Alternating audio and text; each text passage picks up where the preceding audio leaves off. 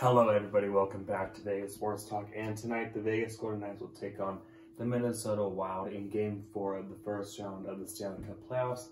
The Golden Knights lead the series two games to one after beating Minnesota 5 to 2 in Game 3. Players to watch for both teams, so this takes into account the last five games, both, both postseason and regular season. Alex Pietrangelo, he has two goals. Riley Smith, four assists. Riley Smith, four points. For the Wild, Eriksson had two goals Foligno, three assists, and he also has four points for the Wild over the last five games. Team stats throughout the playoffs, goals for for the Golden Knights, 2.61. That number is a little bit skewed from the empty net goal from Mark Stone the other night. Goals allowed 1.33, power play 10%, penalty kill 100%.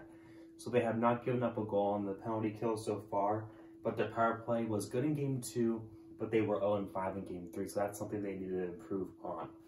For the Wild, their team stats 1.33 goals for, 2.67 goals allowed.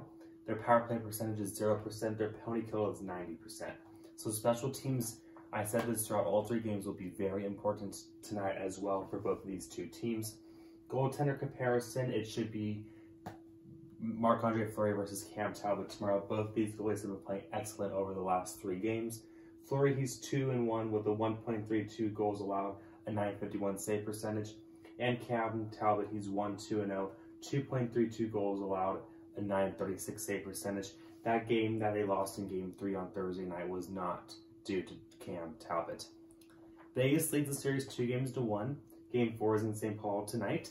And this is a must-win game for Minnesota. They cannot be down three games to one, going back to Vegas for Game 5, needing to win, and they would have to win two in Vegas game five and seven.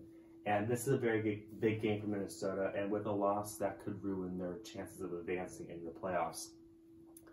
Minnesota's Marcus Johansson, big news. This happened in game three. He slid into the post. Um, he did break his arm. So he will be out for probably the remainder of the season. Broken arm is the injury update for that. And Pacioretty and Nosek are both game time decisions again for the Golden Knights. Peter DeBoer does not give a definite answer on them but we will see during warm-ups later on. Both Fleury and Talbot have been excellent, and the puck drop is scheduled for 5 p.m. Pacific, 7 p.m. Central, and the game will air on NBC. It's game four. It's a very important game. With the win, the Knights will go up three games to one, and they will put a stranglehold on this series. But if Minnesota can tie it up, it would be two games apiece, and game five should be very interesting Monday night.